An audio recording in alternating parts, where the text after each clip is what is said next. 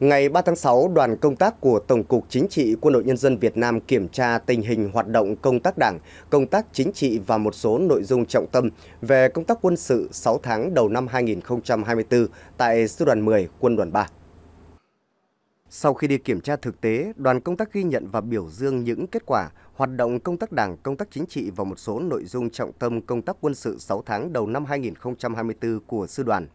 Nổi bật là Đảng ủy, Chỉ huy Sư đoàn 10 đã lãnh đạo chỉ đạo toàn diện, đồng bộ, kịp thời, có trọng tâm trọng điểm, góp phần nâng cao chất lượng tổng hợp, sức mạnh chiến đấu, xây dựng đơn vị vững mạnh toàn diện, mẫu mực tiêu biểu. Chất lượng, hiệu quả công tác giáo dục chính trị tư tưởng được nâng lên, có nhiều sáng kiến mô hình cách làm sáng tạo, hiệu quả trong công tác tư tưởng, quản lý quân nhân như tổ ba người, câu lạc bộ kết thân, đôi bạn cùng tiến, tổ tư vấn tâm lý, pháp lý và năm chủ động trong công tác giáo dục.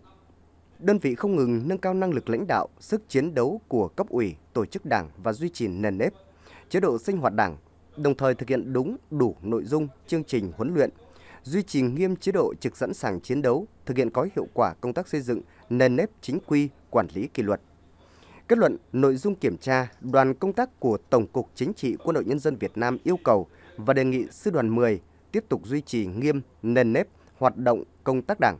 công tác chính trị, làm tốt công tác tư tưởng nhất là trong thực hiện nghị quyết của các cấp về xây dựng lực lượng theo biên chế mới, tinh, gọn, mạnh, được tăng cường thêm một số loại vũ khí, trang bị kỹ thuật mới, chủ động phối hợp với cấp ủy chính quyền địa phương nơi đóng quân thực hiện tốt công tác dân vận, duy trì có nền nếp công tác phối hợp với các lực lượng vũ trang địa phương xử lý các tình huống không để bị động bất ngờ, thực hiện tốt quy chế dân chủ ở cơ sở và quan tâm chăm lo tốt đời sống vật chất tinh thần bộ đội cán bộ chiến sĩ của đơn vị.